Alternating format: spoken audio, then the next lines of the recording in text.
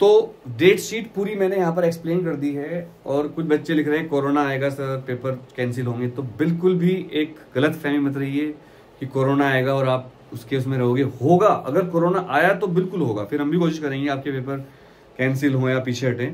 लेकिन अभी आप पढ़ाई करिए, क्योंकि अभी इस तरह के चांस नहीं है। एक्सपर्ट भी कह रहे हैं कि इंडिया में वेव नहीं आएगी इस तरह की, जो पिछली बार आई थी। एक सवाल बड़ा बच्चे पूछ रहे हैं, जो प्राइवेट और इंप्रूवमेंट वाले बच्चे हैं, कि उनका एडमिट कार्ड कहाँ से मिलेगा? रेगुलर वालों का तो सब बात करते हैं। इंप्रूवमेंट और प्राइवेट वालों की बात कोई नहीं करता।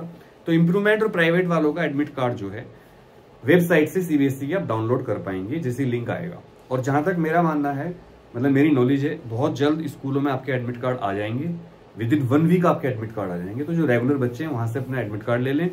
और अगर आपने किसी सेंटर से फॉर्म भरा है, वो भी आपका एडमिट कार्ड प्राइवेट वाले बच्चे, वो भी आपका एडमिट कार्ड प्रिंट करके आपको दे देंगे। तो कोई खास डरने की बात नहीं है। डेट शीट यहाँ पर पूरी मैंने लिख दी है, और फिजिक्स का पेपर छह मार्च को है। प्राइवेट वाले बच्चे और इम्प्रूवमेंट वाले बच्चे, सबकी डेट शीट यही है कॉमन डेट शीट है। बहुत से बच्चों को लग रहा है कि प्राइवेट और इम्प्रूवमेंट के लिए डेट शीट अलग आएगी अलग अलग नहीं आएगी। यही डेट शीट होगी पेपर भी इसी के साथ होगा।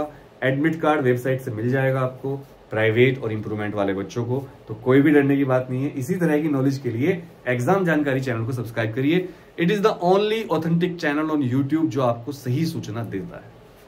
फेक चीज़ों को प्यार मत करिए रियल को प्यार करिए। जय हिंद।